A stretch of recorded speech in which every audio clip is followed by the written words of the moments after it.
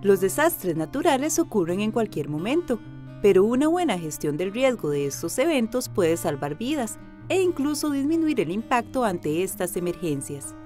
Precisamente para compartir las experiencias de expertos internacionales y sus investigaciones en estos temas, la UCR organizó el taller Espacios, Territorios y Gestión de Riesgo.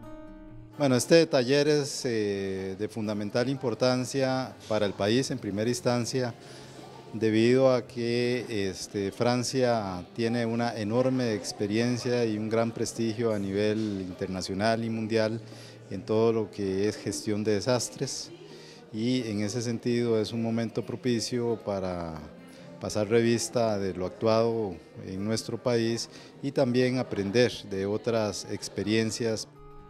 El lema del taller fue Cruzando saberes y fronteras en la gestión del riesgo, y participaron investigadores de 10 países procedentes de la Universidad de París, el Centro de Protección para Desastres de El Salvador, la Universidad Nacional Autónoma de México, la Universidad Nacional Autónoma de Honduras, la Universidad Nacional y la Universidad de Costa Rica.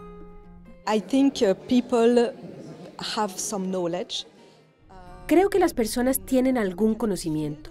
Pero en el campo académico nosotros investigamos y tenemos también ideas de cómo manejar mejor el riesgo.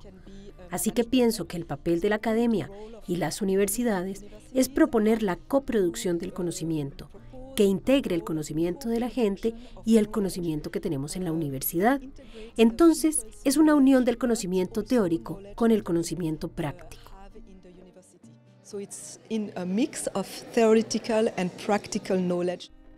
Los temas abarcados por los exponentes fueron especialidades en gestión de riesgo en las ciudades, vivir con el riesgo, dispositivos técnicos para prevenir el riesgo y herramientas de divulgación en la gestión del riesgo, entre otros.